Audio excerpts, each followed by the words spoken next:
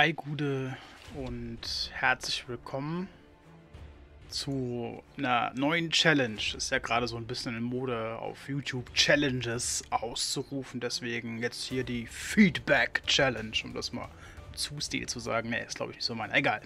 Und zwar, äh, warum mache ich das und was habe ich mir dabei gedacht? Ich war jetzt äh, die Woche äh, ein bisschen down, war ein bisschen erkältet und hatte da ein bisschen Zeit, mir Gedanken zu machen und da sind mir so ein paar Dinge durch den Kopf geschwört. Zum Beispiel auch Feedback auf YouTube für die YouTuber, für andere Zuschauer. Warum macht man das überhaupt und äh, bringt das überhaupt irgendwas? Oder sind wir das, wie es irgendwann mal äh, alten äh, YouTube- bzw. Rollenspiel-YouTube-Ursteigen vorgeworfen wurde, Fame-Huren und soll uns das überhaupt interessieren, wenn jemand das zu uns sagt?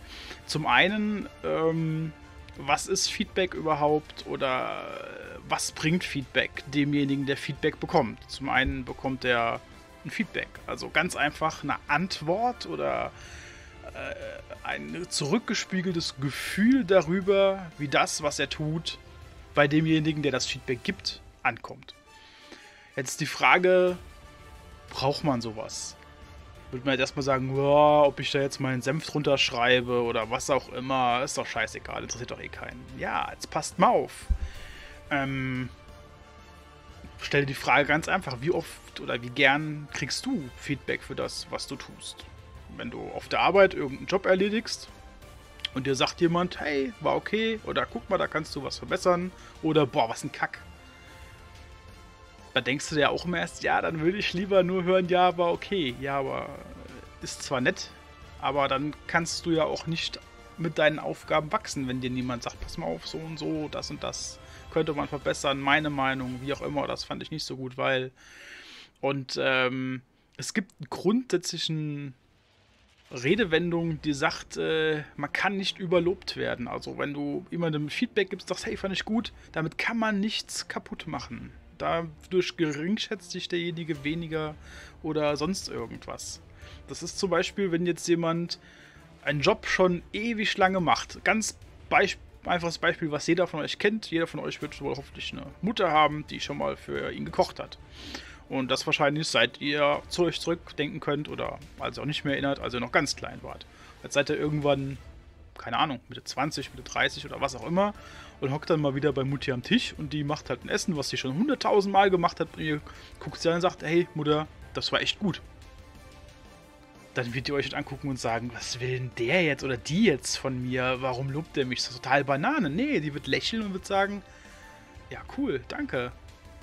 Freut mich, dass es dir schmeckt und freut mich, dass du, vielleicht willst du das nicht sagen, dass sie freut, dass du es ihr sagst, aber hey, und genau so ist es. Eigentlich im Prinzip sind wir alle irgendwie, also wir, die Rollenspiel-Streamer, alle irgendwie die Mütter, die schon ewig lange kochen und auch immer was überlegen, hey, was können wir Neues präsentieren, ein neues System, ein neues Setting, ein neuer Spieler, was auch immer, irgendwas, was nochmal irgendwie äh, einen Reiz geben kann, um das mal in der Fitnesssprache zu sprechen.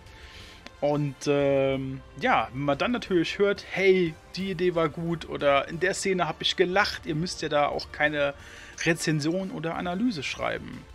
Sondern ein simpler Satz und ähm, was mich total überrascht hat, dass diese äh, Frage nach Feedback wirklich mal gestellt werden muss. Das haben mir äh, Katze und Wolf gesagt, seit sie auf ihrem Kanalgeburtstagsstream gesagt haben, hey, gebt doch mal Feedback, haben da Leute auf einmal angefangen, Feedback zu sagen. Also es ist nicht so, wie sich manche denken, es ist ja normal, wenn ich was sehe, antworte ich.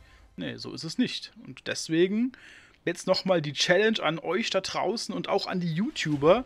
Gebt Feedback, wie der Zu schon öfter sagte. Gebt Videoantworten, wenn jemand ein Video reinstellt. Schreibt etwas drunter.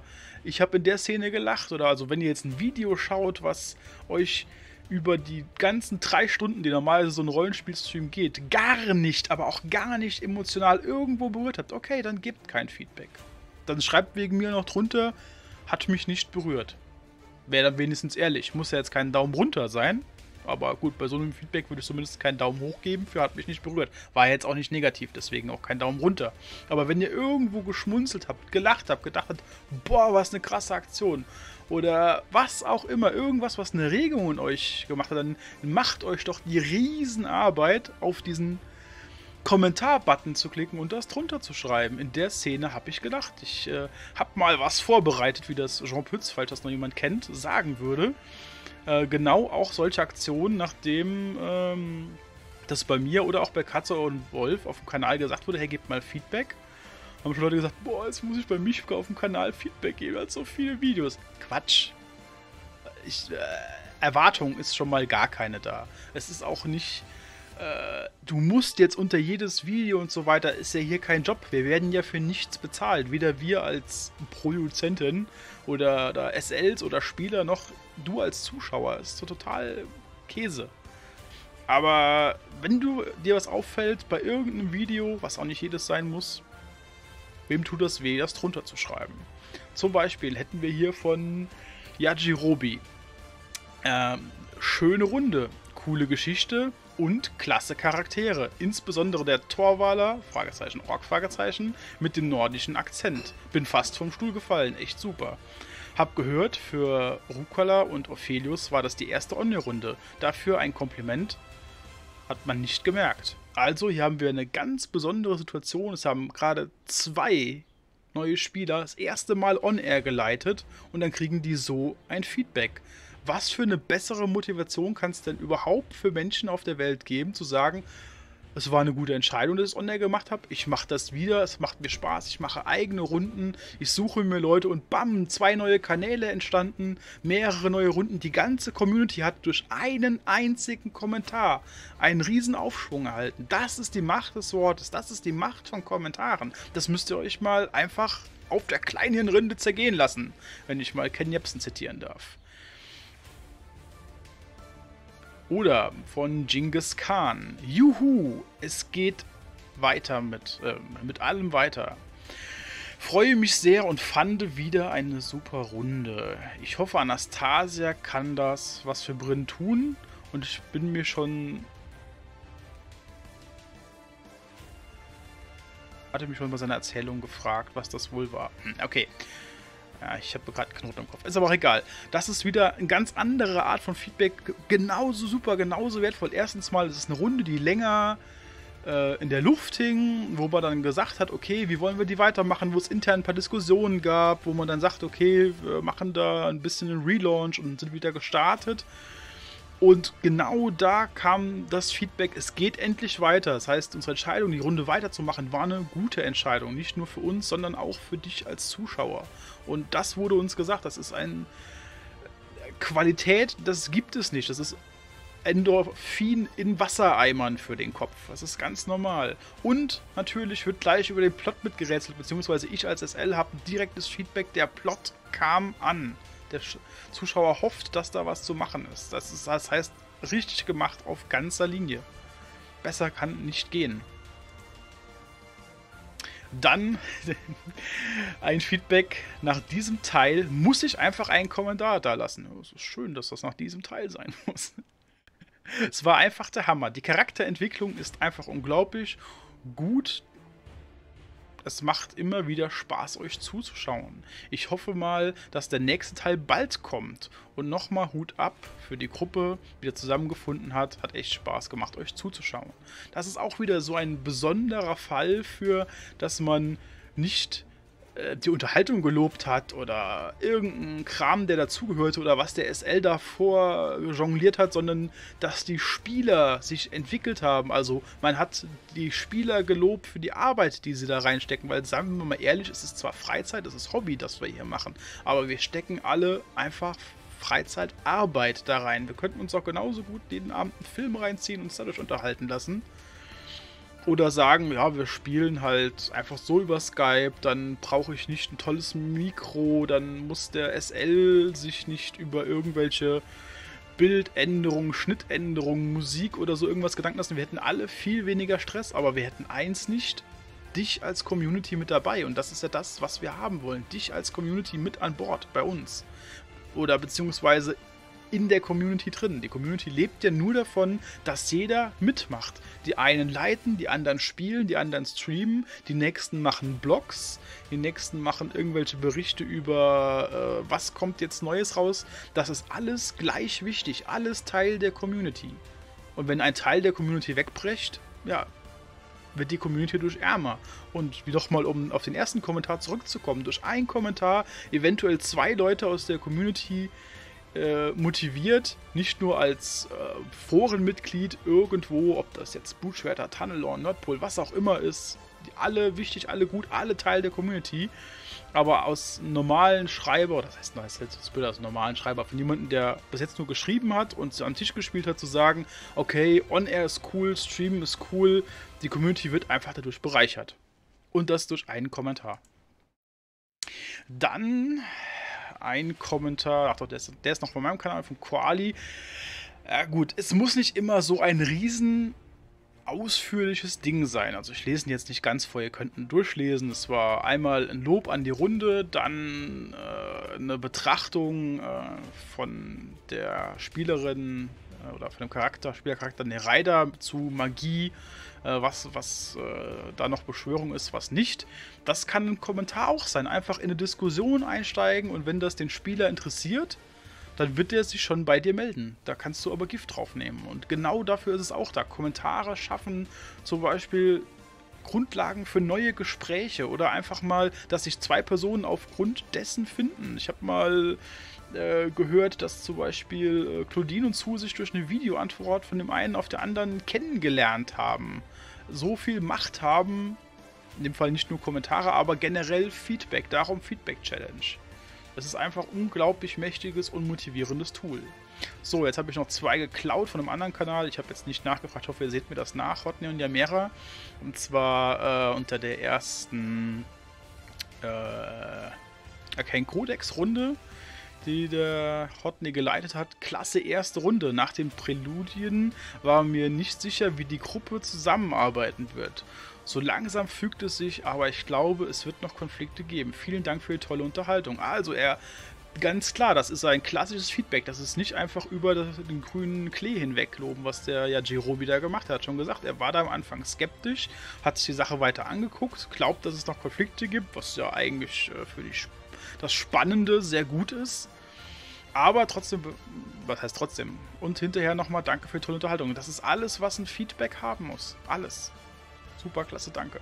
Und jetzt natürlich mein persönlicher Liebling, der äh, von der Dame war der Hotne und Yamera sehr geflecht, weil die sehr akribisch äh, kommentiert hat und das fand ich persönlich so toll, dass ich das auf jeden Fall in dem Video noch erwähnen will. Also das ist wirklich, äh, da haben die ganz, ganz viel Energie und Motivation rausgefunden, neue Projekte anzugehen, das Projekt was, was zu verfolgen. Also ihr könnt nicht effektiver oder günstiger oder einfacher ähm, Streamer dazu motivieren, sich noch mehr reinzuhängen, noch mehr zu machen, noch tiefer in die Materie reinzugehen, noch mehr selbst Spaß an der Sache zu haben, wie so Kommentare abzugeben. Zum Beispiel jetzt hier von Nicole Bastigkeit. Huhu. Habe heute mal angefangen nachzuschauen. Es war jetzt auch unter dem äh, Preludium für die Arcane Codex Runde im hohen Norden glaube ich, heißt es. Sorry dafür. Ähm, wow, ich bin platt. Echt schöne Runde. Bin auf den Rest gespannt. Liebe Grüße. Dann von äh, Katze und Wolf, beziehungsweise in dem Fall Hotney. Hallo Nicole. Schön, wenn dich das Preludium angefixt hat. Dafür war es ja unter anderem gedacht. Dann wünschen dir viel Spaß bei den anderen Präludien. Von mir auch, weil es war ein Präludium vom Charakter, deswegen äh, auch äh, Dankeschön, viel Spaß wünschen. Und dann äh, das, was wir am liebsten, also wir als Streamer am liebsten lesen, äh, vielen Dank. Hab ich, bisher habe ich ihn. Ich brauche dringend mehr Zeit. Also mein Tagespensum an Zeit, das ich habe, reicht nicht aus. Ich will die Streams alle nachgucken. Und das ist natürlich was ganz Besonderes, dass man sieht, okay, da ist so ein bisschen Bedürfnis geweckt. Und ähm, ja, finde ich toll. Und äh, also ich habe das aus Zwiegesprächen äh, mit Katze und Wolf rausbekommen, habe aber auch schon Feedback von anderen YouTubern, dass das halt einfach ein riesen Motivationsschub ist, wenn man da einfach einen Satz drunter lässt. Ich habe es ja schon mal gesagt im Stream. Persönlich freue ich mich super, wenn die Leute Hallo sagen. Machen auch super viele. Danke dafür. Es ist einfach so, hey, man trifft sich wie am Stammtisch oder hey, man, was auch immer, zeigt man es da und ist Teil der Sache. Und man hat nicht dieses Sender-Empfänger-Ding, wir blubbern raus und ihr zieht euch rein und alle sagen hinterher, ja, ja, so wie nach der, keine Ahnung, 4 Millionsten Folge DSDS, die du dir angeguckt hast. Ja, wo wollte ich jetzt hin? Dem Satz. Ich habe mich verhaspelt. Toll gemacht, Michka. Ja, auf jeden Fall, ähm, wenn du schon mal Feedback irgendwo unter einem äh, Streamer gegeben hast, sag schon mal in seinem Namen Danke, auf jeden Fall. Der wird sich darüber gefreut haben. Der hat ja auch bestimmt schon Danke drunter geschrieben oder einen Daumen dafür oben gelassen. Ähm, jetzt gibt es natürlich noch die Zweifler, die dann sagen, hey Mischka, aber ich kann mich dran erinnern, dass sich mal jemand beschwert hat oder zu einem gesagt wurde, wenn ich Feedback will oder nach Daumen hoch frage, bin ich eine Fame-Hure. Den Satz lasse ich jetzt mal kurz in der Luft stehen.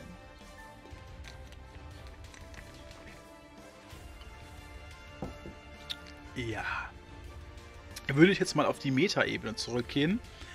Äh, solltet ihr noch nicht das Video Transaktionsanalyse von mir gesehen haben, guckt euch das mal an. Das äh, gehen wir jetzt mal wieder rein. Wenn dir jetzt jemand sagt, du Fame-Hure, oder noch gehen wir simpler weg vom Stream, sondern von zu Hause. Du kommst nach Hause von der Arbeit, warst im Stau, bist vielleicht so ein bisschen genervt oder was auch immer. Hast gleich den Kopf gerade mit anderen Sachen voll, fährst auf den Hof und da steht dann jemand, der zu dir sagt, boah, du Idiot. Jetzt ist die Frage, steht da jemand, der wirklich nah an dir ist, deine Tochter, deine Frau, deine Mutter, wer auch immer, dann wirst du direkt, uff, was los, was passiert? Ich bin noch nicht angekommen, schon direkt Idiot, was passiert? Das nimmt man sich zu Herzen. Wenn das jetzt irgendein Kumpel aus der Kneipe, aus der Schule ist, dann sagst du dem, hey selber Idiot, ich bin gerade gestresst. Und wenn das irgendeine Person ist, die du gar nicht kennst, die du noch nicht mal irgendwo, irgendwo mal gesehen hast, beim Einkaufen oder so, die sagt zu dir, du Idiot, da denkst du dir, was ein Depp und gehst weiter. Und genauso ist das auch, wenn dir einer unter das Video schreibt, boah, du Fame-Hure oder was auch immer, was ein Kack oder, ja, das interessiert mich so viel, wie wenn bei mir im Garten eine Mücke fürzt. Ganz im Ernst. Wenn jemand nicht konstruktive Kritik abliefern kann, dann soll er es sein lassen. Okay, wenn ihm das wichtig ist, das runterzuschreiben, hey, gerne. Immerhin hat er was geschrieben. Wenn ihm das wichtig ist, nur einen Daumen runter zu geben, damit er den Mischka so richtig ärgern kann. Hast du cool gemacht, denn es gibt nur einen Thumb-Count, keinen Thumb-Up, Thumb-Down-Count bei YouTube. Thumb-Down heißt auch Promoting fürs Video. Also mach du weiter deine Daumen runter. 10 wegen mir. Mach dir 100 Accounts, mach 100 Daumen runter, läuft. Und ähm, wenn du jetzt so einer bist, der dann sagt, ja, aber negatives Feedback, ich weiß nicht, das demotiviert mich, dann wieder zurück in die Transaktionsanalyse. Du bist okay, ich bin okay, du bist okay. Der hat mir schon gesagt, dass ich nicht okay bin. Warum denke ich denn von mir auch, ich bin nicht okay? Da würde ich mir noch mal Überlegen machen, Überlegungen anstellen. Ähm, wenn ich so ein dünnes Nervengerüst habe, ist dann Stream was für mich. Ja, ist es, Gottverdammt. Natürlich ist Streamen was für dich. Weil du dann genau dieses Nervengerüst verbessern kannst. Weil du dann einfach ruckzuck merkst, was ist Feedback, das ich ernst nehmen kann. Oder was ist Feedback, was ich einfach in die Tonne treten kann. Natürlich habe ich von Koali, von Claudine auch schon Feedback bekommen, was man nicht gerade als super positiv oder Lobhudlerei oder über den grünen Klee wegloben äh, abstempeln kann, sondern wo wirklich Kritik drin ist oder Belehrung. Aber da freue ich mich doch drüber, weil im besten Fall kann ich dabei was lernen. Im schlimmsten Fall frage ich jetzt nach, war das wirklich so gemeint oder kannst du mir das nochmal erklären? Aber es kommt immer was Positives dabei raus. Und genau deswegen nochmal Feedback Challenge. Jeder, der das sieht, ob du Zuschauer bist, ob du Streamer bist, ob du was auch immer, fühl dich gechallenged, Feedback zu geben. Wenn du Streamer bist, mach ein Antwortvideo, schreib drunter, ja, okay. Ich antworte auf die Feedback-Challenge und mache Feedback dazu. Ich finde das total doof, was du da gemacht hast. Ich finde das eine gute Idee, den Leuten mal zu sagen, das ist Feedback, Feedback ist uns wichtig, weil sollte eigentlich jeder wissen, dass Feedback wichtig ist. Wenn du, keine Ahnung, dein Kind nach Hause kommt, falls du ein Kind hast, und zeigt dir eine Klassenarbeit in Mathe, wo eine 2 draufsteht und du gibst ihm nicht mal einen Kopfnicken, sondern du gehst einfach wortlos weiter. Dann wird sich das spätestens nach dem vierten Mal denken, A, warum zeige ich meinem Alten überhaupt die Arbeit? Und B, warum schreibe ich überhaupt, mache ich mir überhaupt so einen Aufriss bei der Arbeit? Ich könnte locker mit dem Hälfte der Aufwand eine 4 schaffen, hätte dann mehr Zeit zum Zocken oder zum Party machen. Und das sind halt genährte Zweifel, die sinnfrei sind durch einen einfachen Satz. Und du sagst, cool, ich bin stolz auf dich, was so eine klasse Leistung. Und wenn du ein bisschen mehr Gas gibst, kannst du nächstes Mal 2 plus werden. Dann kannst du sehen, ob du mit dem Feedback und dem Antriggern der, des Ehrgeizes noch ein bisschen mehr rausholen kannst. Damit kann man was kaputt machen, wenn man es übertreibt. Aber in einem positiven Feedback so ein kleines bisschen verstecken, da geht noch ein bisschen mehr, auch nicht schlecht. Oder der Klassiker, äh, ich gebe es zu, ich bin schuldig, ich mache meiner Tochter, obwohl sie schon weit überwachsen ist, jeden Morgen noch Schulbrote. Ist aber auch was, was ich gerne mache. Warum auch immer. Muss ich jetzt hier nicht breitreten. Und ähm, dann kommt sie irgendwann nach Hause und sagt, hey, du hast mir heute äh, einen Apfel dazugelegt oder, na gut, Apfel ist jetzt sehr alltäglich, äh, ein Stück Kinderriegel oder irgendwas, was nicht alltäglich ist, fand ich toll, eine tolle Abwechslung, danke dafür. Das hat sie keine 10 Sekunden gekostet, kein Geld, keine Energie, nichts. Einfach ein bisschen Atem. Und mich hat das total motiviert, mich morgens, obwohl ich bis 8 schlafen könnte, trotzdem um 6 rauszuquälen und zu sagen, ey, ich mach dir Brot. So einfach ist es. Das ist die Macht von Feedback. Nutz deine Macht, nutz dein Feedback. Gib Feedback. Du hast die Macht. So. Ciao, bis zum nächsten Mal.